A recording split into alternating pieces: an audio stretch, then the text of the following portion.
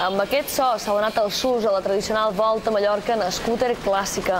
Gairebé un centenar de vespes i lambretes s'han convocat a Palma per recórrer uns 300 quilòmetres en un sol dia, passant per tots els punts cardinals de l'illa. Sorgiren als anys 40 i foren creades com a vehicles de feina. Avui són un símbol d'elegància i associen a un estil de vida. La jornada és la quarta que celebra i està organitzada pel Club de Motos Clàssiques Borinos.